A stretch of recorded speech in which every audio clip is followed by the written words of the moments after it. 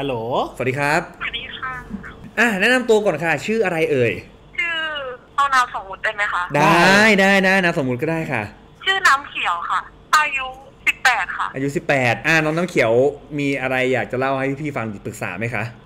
พี่คื อหนูนอนเยอะมากเลยอะหนูจะแก้ปัญหายังไงดี หนูนอนเยอะมากเลยอะก่อนแก้ที่ปัญหจะถามว่าแก้ปัญหาไงดี อยากให้หนูเล่ามาก่อนว่ามันเกิดอะไรขึ้น การแบบนอนเยอะเกินไปเนี่ยมันเกิดมานานแค่ไหนแล้ว แล้วหนูรู้สึกว่ามันมีผลกระทบยังไงกับชีวิตของเรา กับการที่เราแบบนอนเยอะอย่างเงี้ย อะไรคือปัญหาของหนูในการนอนเยอะปัญปัญหามันคืออะไรอะเริ่มเล่าก่อนว่าที่มาที่ไปนานแค่ไหนแล้วคือคือตอนแรกอะหนูอะเรียนหนักมากแล้วหนูไม่มีเวลาพักผ่อนใช่ไหมคะอ่าแล้วทีเนี้ยแบบช่วงปิดเทอมอะก็เลยแบบตั้ง เยอะๆและแบบสักอาทิตย์หนึงอะไรเงี้ยพอผ่านมาสองอาทิตย์อะหนูก็เริ่มติดแล้วตายแล้วทำยังไงดีคือหนูอะแบบอ๋อคือมันใกล้เปิดเทอมแล้วแล้วกลับไปตื่นเช้าไม่ได้อย่างนี้เหรอใช่ค่ะอะโอเคเดี๋ยวเข้าใจละต้อง clear ประเด็นก่อน ตอนเนี้ยที่หนูกลัวหนูหนูบอกว่าหนูนอนเยอะ แต่สิ่งที่พี่ฟังมาพี่ยังจำ keyword ไม่ได้ว่าคำว่าเยอะของหนูอะกี่ชั่วโมงที่หนูบอกว่าเยอะ เออวันหนึ่งนอนนี่มันกี่ชั่วเยโมอะงกว่า 12 ชั่วโมงอะสิบสองไม่เท่าไหร่คำถามคือตอนเนี้ยหนูนอนกี่โมง และตื่นกี่โมง อืมหนูอะนอน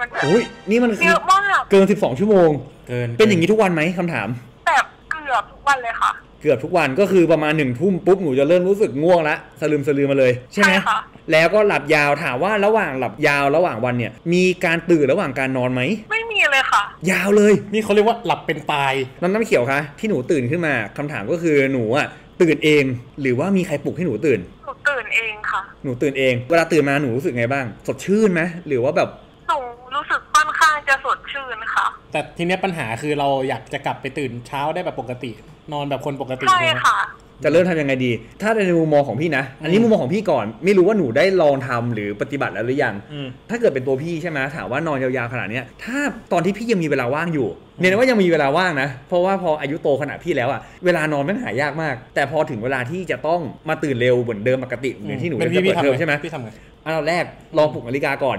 2. มีใครอยู่ในบ้านไหม ถ้ามีใครอยู่ในบ้านให้เขาช่วยก่อนในช่วงแรกอ๋อให้เขาช่วยปลุกๆอ่าช่วยปลุกเพราะว่านาฬิกาอาจจะเอาไม่อยู่ถูกอ่าอ่าซึ่งถ้าเกิดเป็นบ้านพี่สมัยก่อนเวลาคุณแม่ปลุกอะเขาปลุกได้ hardcore มากอืมเอาน้ำสาด คือไม่ตื่นมันก็ต้องตื่นอะ เออจริง ๆ คือแบบแม่เอาน้ำสาดเลยหนึ่งแก้วสู้ตื่น อ่าอ่าประมาณนั้นนี่คือวิธีการปรับ แต่ว่าจริงๆแล้วมันก็อยู่ที่ว่าในหนึ่งหนึ่งวันอะเราใช้แอคทิวิตี้เราใช้พลังงานเยอะมากน้อยอะไรขนาดไหนอืมเพราะบางทีการที่ใช้พลังงานเยอะๆอาจจะทำให้เราอยากนอนเยอะขึ้น อ่าด้วย แล้วก็บวกกับความล้าสะสมมีผลจริงๆนะ อืม ความล้าสะสมที่แบบเราอดหลับอดนอนกันมา ช่วงที่หนูอ่านหนังสือเยอะๆอะถามว่าช่วงนั้นอะหนูนอนวันละกี่ชั่วโมงช่วงนั้นหนูนอนเวลาสี่ชั่วโมงเองค่ะ โอ้จับมือเท่าพี่เทเลอยมเลย โอ้พี่นอนสี่ชั่วโมงมามาประมาณเกือบสิบปีแล้วลูกหนมล่ะในมุมมองหนมจะแก้เวลาไงดีของพี่คือให้คนอื่นช่วยปลุกมันก็ประมาณเนี้ยแหละมันก็ต้องให้คนอื่นช่วยปลุกหนูปลุหนูกว่าจะให้แม่ปลุกแล้วว่าตอนเปิดเทอมใช่ อันนี้เท่าที่พี่มองนะคือ การที่เรานอนแบบเนี้ยมาเกิน 2 อาทิตย์อะไม่แปลกหรอกที่ร่างกายมันจะ memory ว่าเป็น routine ของร่างกาย มันเซฟละมันมัน save save ละไปแล้ว ซึ่งสิ่งที่ต้องทำคือเราต้องฝืนตัวเองให้ได้ หรือว่าอาจจะต้องให้แม่ปลุกเงี้ยสักประมาณ 2 อาทิตย์ เพื่อให้ร่างกายมันreset เอ่อ memory ร่างกายใหม่ น้องเขียวคะหนูเปิดเทอมวันไหนคะลูก หนูเปิดเทอมวันจันทร์นะคะ เดี๋ยววันจันทร์ที่จะถึงนี้ ใช่ค่ะวันที่สามสิบโอ้โหโอ้กระชั้นชิดมาก ไม่เป็นไร เอาจริง ๆ คือพี่มองอย่างนี้นะว่ายังไงอะถ้ามันนอนพออะให้คนอื่นปลุกอะมันไม่น่าจะส่งผลเสียอะไรหรอกกับร่างกาย พี่แนะนำว่าเซตเวลาก่อน หนูอยากจะนอนวันละกี่ชั่วโมงหนู อยากกลับไปนอนแบบหกชั่วโมงห้าถึงหกชั่วโมงอะเหมือนเดิม งั้นกำหนดก่อน หนูอยากนอนกี่โมงนอนกี่โมง และตื่นกี่โมงประาณเที่ยงคืนก็ได้ค่ะ แล้วก็ตื่นหกโมงอะไปเรียนทันใช่ไหมตื่นหกโมงเช้ากันแล้วใช่ค่ะทันเนาะถ้างั้นเป็นพี่อะพี่ทำอย่างงี้ปกติหนูจะเริ่มง่วงประมาณสักหนึ่งทุ่มใช่ไหมณตอนเนี้ยหนูต้องฝืนต้องฝืนตัวเองขึ้นไปอีก เออห้ามนอนทุ่มหนึ่งอืม ค่อยๆฝืนแต่ว่าไม่ใช่นอนทิ้งคืนนะ ฝืนเท่าที่ไหวแล้วก็หลัอาบจจะขยับขึ้นไปสักสามทุ่มก่อนสี่ทุ่มประมาณนี้แล้วก็นอนอ่าฮะใช่แล้วพอใช่ถึงเวลาตื่นจริง ๆ คุณแม่ปลุกใช่อะแล้วก็ทำอย่างเงี้ยไปเรื่อยๆ สักสามวันสี่วันห้าวันจนครบสัปดาห์หนึ่งพี่ว่าร่างกายมันจะเริ่มปรับได้อืมคือเอาจริงๆของ routine ร่างกายอะเขาเรียกว่า biological clock เออนั่นแหอ่าละเป็นนาฬิกาชีวิตที่ร่างกายเรามันจะจดจำเหมือนอารมณ์แบบว่าถ้าเราตื่นผิดเวลาเราจะไม่หิว หรือเราจะรู้สึกว่าอาหารไม่ย่อยอะไรอย่างเงี้ยอ่าเออเพราะร่างกายมันไม่ทำงานตามเวลา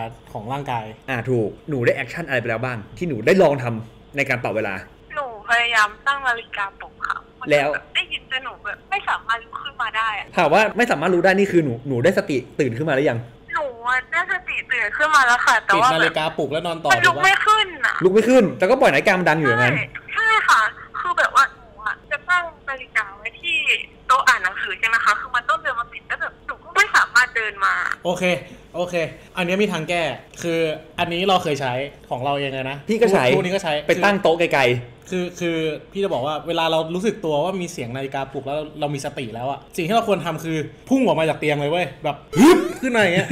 จริงมันจะเป็นการแบบ ร่างกายมันจะตกใจเว้ยๆมันต้องฝืน มันเป็นเออมันเป็นความฝืน แต่เข้าใจเข้าใจของที่น้องน้องเขียวบอกว่าอืมมันลุกไม่ขึ้น ดังนั้นตอนนี้หนูต้องมี assistant หรือผู้ช่วย ดังนั้นหนูต้องให้ใครสักคนหนึ่งกระชากหนูลงมาจากเตียงเลย ใช่ คือมันจะต้องออกจากจุดที่เรานอนอยู่ให้ได้ ใช่ แบบทันทีทันใด ดังนั้นใช่หนูต้องบอกคุณแม่ว่า คุณแม่ช่วยกระชากหนูลง ไม่ก็ถีบหนูลงเตียเองอเลยเตียงไปเลยอืมประมาณนี้ให้ร่างกายหนูจดจำสาดน้ำเหมือนพี่ก็ได้นะ บอกคุณแม่สาดเลย หนูจะโกรธแม่ไหมลูก ถ้าเกิดแม่ถีบหนูตกเตียงอะเออไม่ไม่ก่อนค่ะเออ ไม่รู้นะว่าวันเนี้ยสิ่งที่พี่พูดกับพี่หนุ่มจีนไปจะช่วยหนูได้ขนาดไหน มันต้องลองไปทำดูอะเออเออจริงพี่เชื่อว่าแต่ละคนมันจะมีวิธีที่ไม่เหมือนกันอ่าถูกเดี๋ยวถูกเดี๋ยวเราลองอย่างนี้ก่อนแล้วเดี๋ยวเราจะจับทางได้ว่าเราต้องทำยังไง ได้ แล้วหนูได้ผลไม่ได้ผลยังไง หนูลองแชทเข้ามาหาหลังไมค์ที่เพจเออของอุ้มสตูดิโอแล้วมาเล่าให้ฟังหน่อยว่าหลังจากที่พี่แนะนำไปแล้วเนี่ยแม่ง work หรือไม่ work เออเออจะได้เอามาต่อใน EP ต่อๆไปว่าเฮ้ยเรามีการติดตามเคสนะเว้ยว่าน้องมันเอาไปปฏิบัติตามแล้วมันได้ผลจริงหรือเปล่าอ่าฮะอ่าฮะน้ำเขียวมีอะไรอยากจะได้ค่ะพูดกับพี่ส่งท้ายไหม ก่อนที่เราจะจากลากันไป หนูไม่รู้จะพูดอะไรหนูแบบอะโอเคหนูไม่เลยจะพูด งั้นพี่พูดให้ อ่าขอบคุณที่โทรเข้ามา ขอบคุณด้วยครับสายแรกครับ ครับผมขอบคุณมากครัขอบคุณบมากครับ